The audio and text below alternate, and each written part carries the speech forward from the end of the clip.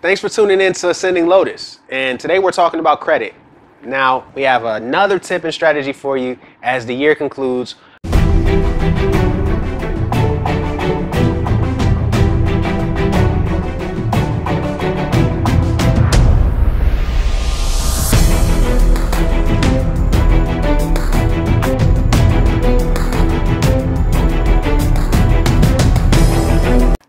All right, today we're talking about authorized users, okay? Now, what is that? How does that work? Now, when it comes to credit, there's uh, a term we, call piggybacking. And the way that it works is we have a primary uh, person who's our primary who already has an established credit history. Now, let's say um, Joe, we'll use as an example. Joe has been approved for a credit card for 5000 $5,000. And Joe has been a really good steward with his money and his time and his financial uh, you know, tendencies and habits. And he's done a good job keeping his uh, credit limit low and on time monthly payments for the past two to three years. Now, Joe has a friend uh, who's in need of uh, a boost to the credit score. Joe could go ahead and uh, allow his friend to become an authorized user. And what will happen is once he makes them an authorized user on the credit card, that $5,000 limit that Joe already had will appear on his friend's credit report and profile. And it will look as if the friend actually has that credit card himself. All right. All the payment history will transfer over and be recognizable anytime his friend has his credit reports ran. And of course, like I said and mentioned before, the amount for the credit will also uh, appear as well as the name of the credit card company that is providing that credit. All right. Now, why might this be good?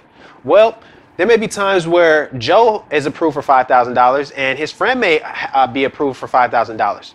Now, if they make each other authorized users on each other's cards, now they have a combined uh, extended credit limit of $10,000 between the two, right?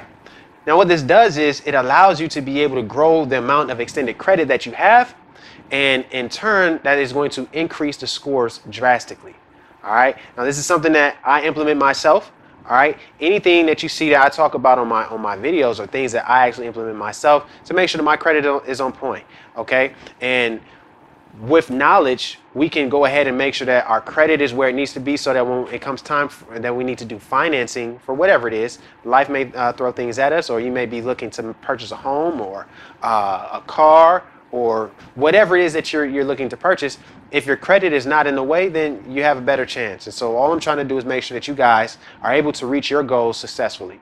Okay. Now, if you need more um, credit advice or, or just information, there are other videos that we have covered on pertaining to specific books that you can get as resources, pertaining to guaranteed approval, where I have a list of uh, the different companies that will extend out to up to $5,000 uh, each for uh, guaranteed approval, uh, no matter what your credit score is. So that'll automatically get you boosted up as well. Make sure you check out the videos. I'm gonna have them posted and linked to where um, you, you can just click on it from, from wherever you're, you're viewing from and be able to get more information.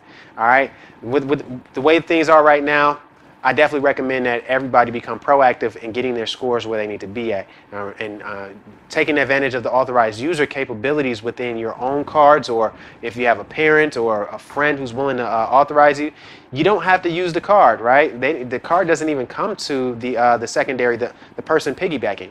So there, there shouldn't be the worry of, oh, will this person mess up my credit? It doesn't work that way, right? The card's going to come to the primary. And if the primary doesn't want to give the card to the, uh, the, to the authorized user, they don't have to, all right? The card can just be destroyed, but the information is going to be transferred over to the authorized user's credit profile. And that's our tip and strategy for today.